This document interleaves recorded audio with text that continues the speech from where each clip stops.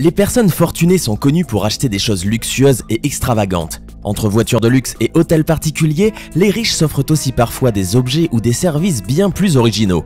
Celui qui a dit que les riches jetaient l'argent par les fenêtres avait bien raison et la vidéo d'aujourd'hui va vous le prouver. Voici les 10 choses les plus stupides achetées par des riches.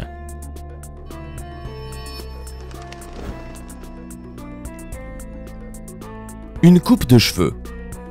Connaissez-vous le Brunei? Je parie que non. Ce minuscule État est dirigé à l'ancienne par le sultan Hassan al-Bolkiah, longtemps considéré comme l'homme le plus riche du monde. Il a pris le pouvoir en 1967 et règne en monarque absolu depuis l'indépendance de Brunei du Royaume-Uni en 1984. En plus des fonctions de chef d'État et de chef du gouvernement, le sultan de Brunei cumule les statuts de Premier ministre, ministre de la Défense, ministre des Finances, recteur de l'université, chef de la police, chef suprême des forces armées et commandeur des croyants. Le tout dans une monarchie de droit divin, car en plus, le sultan est investi par Dieu et n'a de compte à rendre qu'à celui-ci. Alors quand le sultan de Brunei décide de se faire couper les cheveux, ce n'est pas n'importe où, il a donné à un coiffeur londonien la somme de 15 000 livres sterling, l'équivalent de plus de 17 600 euros, pour se faire une coupe. Le sultan avait préalablement demandé de mettre en place un endroit spécial et sécurisé pour lui couper les cheveux afin d'être à l'abri de tout danger et infection. Et ce n'est pas la seule dépense extravagante du sultan. Ce dernier avait versé quelques années auparavant la somme de 14 millions de dollars juste pour posséder une voiture recouverte d'or et convertible qui appartenait à un Maharaja en Inde. Un nom inscrit sur une île. Sheikh Hamad bin Hamdan Al Nahyan, un des membres de la famille royale d'Abu Dhabi aux Émirats Arabes Unis, est un diplomate retraité qui figure parmi les hommes les plus riches du monde. Il a fait parler de lui en 2011 lorsqu'il a entamé un projet original et faramineux, celui d'inscrire son nom Hamad sur son île privée située au large des Émirats Arabes Unis, ceci à même le sable et pouvant être visible depuis la Lune. Les lettres de son nom font 1 km de large sur 3 de long. C'est ainsi devenu le seul nom au monde à avoir été taillé dans le sable et pour assurer une meilleure visibilité depuis l'espace, les deux premières lettres sont remplies d'eau. Un caprice qui a coûté au chèque la somme de 22 milliards de dollars. Oui, vous avez bien entendu, 22 milliards de dollars. Le milliardaire âgé de 63 ans a souhaité laisser son empreinte dans l'histoire et a dépensé sans compter pour satisfaire son envie. Nul doute que personne désormais n'oubliera le doux nom de Sheikh Hamad un avion incroyable.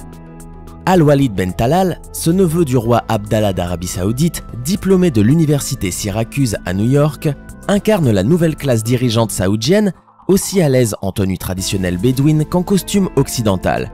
Un étrange mélange de respect des cinq piliers de l'islam, d'engagement philanthropique et d'une indéniable folie des grandeurs. Il a sidéré l'aéropage de l'aviation au salon de Dubaï en novembre 2007 en passant commande du plus gros appareil commercial du monde, l'A380 d'Airbus. Un avion à deux ponts conçu pour accueillir 850 passagers, 315 millions de dollars au prix catalogue à l'époque, qu'il voulait aménager en une sorte de palace volant pour un investissement total estimé à 500 millions de dollars. Les rumeurs les plus folles circulent sur cet avion. L'agence de design britannique Design Q avait fait une proposition d'aménagement intérieur en 2009 intégrant un garage pour la Rolls-Royce Phantom, un hammam, une salle de concert et un escalier flottant. Le designer Edes Doré avait envisagé une piscine voire un sol transparent. D'aucuns évoquaient un ascenseur interne, une gigantesque table de réunion tactile façon iPad et même des tapis de prière se tournant automatiquement vers la Mecque. Cependant, 8 ans après la commande, Al-Walid n'a toujours pas pris livraison de son appareil, le prince se serait-il lassé de son joujou avant d'en prendre possession? Impossible de le savoir. La montre la plus chère au monde.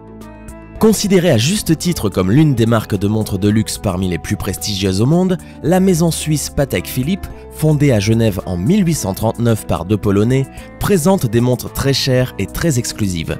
À des années-lumière de Rolex qui produit un million de montres par an, Patek Philippe n'en a produit que 58 000 en 2016. Et parmi toutes ces montres, le modèle grave de Patek Philippe est considéré comme la montre de poche la plus chère au monde. Son prix est de 25 millions de dollars. C'est une montre légendaire connue pour être la plus complexe au monde et entièrement fabriquée à la main. Elle a été produite à partir d'or pur et elle présente diverses fonctions renfermant un calendrier perpétuel, des phases de la Lune, un temps sidéral, une réserve de marche et les indications d'heure pour le lever et le coucher du soleil pour la ville de New York d'où est originaire son propriétaire, un grand homme d'affaires qui a fait fabriquer ce modèle spécialement pour lui. Cette montre grave a été soldée aux enchères en 2014 pour le prix de 19 millions d'euros. La maison a 1 milliard. Le 36e homme le plus riche du monde, Mukesh Ambani, homme d'affaires indien dont la fortune s'élève à 29 milliards de dollars, avait décidé il y a quelques années de se faire construire une maison, mais pas n'importe laquelle, la plus chère et la plus grande maison du monde. Située à Mumbai, la maison du milliardaire indien est une tour gigantesque de 22 étages avec 37 000 mètres carrés habitables pour 165 mètres de hauteur. Elle surplombe ainsi le tout Mumbai. La maison Antilla, c'est son nom, a coûté à Mukesh Ambani la modique somme de 1 milliard d'euros. Elle emploie 600 personnes qui veillent aux soins de sa petite famille. Ce gratte-ciel privé est la plus grande maison habitable du monde. Une chirurgie plastique pour ressembler à un chat. Il y a quelques années, Jocelyn Wilderstein était une grande et belle blonde qui faisait tourner bien des têtes sur son passage. En 1978, elle rencontre et épouse Alec Wilderstein, l'aîné de la famille milliardaire de New York. Ils auront deux enfants, Diane et Alec Jr., nés en 1979 et 1980. Mais très rapidement, le milliardaire se lasse de Jocelyn et commence même à la tromper. La jeune femme qui veut plaire à tout prix à son mari qu'elle s'en s'éloigner peu à peu, entame alors peu après de lourdes opérations de chirurgie esthétique. Et puisqu'Alec aime les félins, Jocelyn décide de faire modifier son visage pour ressembler à un chat. Elle y parvient et au prix de 4 millions de dollars et se défigure au point d'être surnommée la fiancée de Waldenstein en référence à la fiancée de Frankenstein. Jocelyn a tout fait pour ressembler à un chat et le résultat n'est pas du tout fameux. Des pommettes et un menton déformé, des yeux remontés et une bouche trop gonflée, la jolie blonde s'est déformé le visage. Tout ça pour son mari qui finira quand même par divorcer. Aujourd'hui en 2017, Jocelyn Wilderstein est seule et complètement ruinée. Le tableau de Willem de Kooning Stephen A. Cohen, dont la fortune s'élève à 13 milliards de dollars, est le fondateur de la société SAC Capital Advisor, est un grand collectionneur de tableaux. Sa dépense la plus chère a été la peinture de Willem de Kooning intitulée Woman Free, qui lui a coûté 60 millions de dollars. C'est un tableau qui représente une femme peinte avec des couleurs ternes et ayant des lignes brouillées. Ce tableau est en fait la quatrième peinture la plus chère jamais vendue. Un yacht Eclipse L'homme d'affaires russe Roman Abramovich, propriétaire du club de football Chelsea, possède une fortune estimée à 9 milliards de dollars. Il est connu pour être l'un des plus grands acheteurs de yachts. Emblème suprême de réussite, un yacht représente le bijou par excellence du milliardaire. Roman possède entre autres l'Eclipse, un yacht d'une longueur de 163 mètres de long qui a coûté 350 millions d'euros. Les équipements du yacht sont impressionnants. Il possède deux héliports, deux piscines, plusieurs jacuzzis, un mini sous-marin et pour plus de sécurité, l'Eclipse est équipé d'un système de défense antimissile. Le pont du yacht est blindé et les fenêtres sont par balles. Le yacht est même équipé d'un bouclier anti-paparazzi utilisant la technologie laser pour balayer les environs à la recherche du moindre capteur CCD des appareils pour empêcher la prise de photos. Un Boeing 747-400 en or, c'est encore le sultan de Brunei qui vient nous épater et nous éblouir avec ses dépenses astronomiques. C'est l'un des souverains les plus riches du monde avec une fortune de 40 milliards de dollars.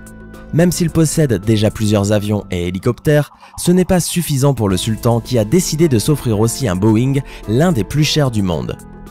Il a donc acheté le Boeing 747-400 pour 100 millions de dollars, ce qui est déjà faramineux, et il ne s'est pas arrêté là il a rajouté 121 millions pour le rénover en l'équipant d'un intérieur spécial en or massif avec des éléments tels que des bassins d'or solides et du cristal lalique. Le journal de Leonardo de Vinci. Peintre, inventeur, ingénieur, scientifique, humaniste, philosophe, Léonard de Vinci est pour beaucoup un esprit universel qui fascine encore 500 ans plus tard. Au passage du 15e siècle au 16e, il illustre et parfois incarne la Renaissance avec ses avancées dans le domaine artistique, mais aussi dans les sciences et avant tout dans l'approche scientifique. Et c'est pour ça que Bill Gates, le créateur de Microsoft, l'homme le plus riche du monde, est un fan incontestable des ouvrages de De Vinci au sujet d'inventions et de découvertes scientifiques. En 1994, il a même déboursé 30,8 millions de dollars afin d'obtenir l'un des journaux de De Vinci qu'il a acheté dans une vente aux enchères.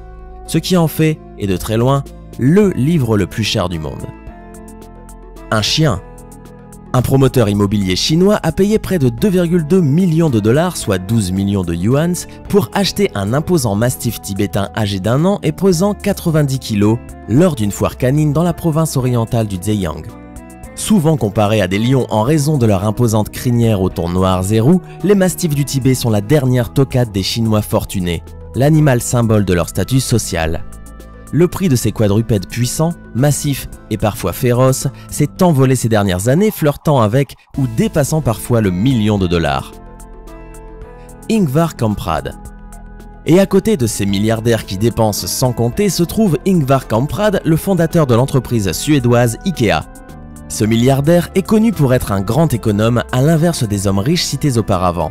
Ingvar mène une vie simple, quand il voyage en avion, il réserve un siège en classe Eco, il conduit aussi une ancienne Volvo datant de 1993, rien de bien luxueux. Sa modestie le pousse à prendre ses repas dans l'un des restaurants Ikea connus pour ses prix bas. Il vit dans une villa dont les meubles ont été dénichés dans son entreprise et on raconte même qu'il prenait la salière et la poivrière des restaurants. Il conseille aussi souvent à ses employés de rester modestes et économes, leur demandant d'écrire sur les deux faces d'une feuille avant de la jeter. Il est aussi connu pour écumer les friperies et guetter toutes les promos de supermarchés. Alors dis-nous, est-ce que toi aussi tu aimerais faire comme ces riches ou trouves-tu ce gaspillage d'argent révoltant? Donne-nous ton avis en commentaire. Si tu as apprécié cette vidéo, n'oublie pas de mettre un pouce bleu et de t'abonner à la chaîne. A très vite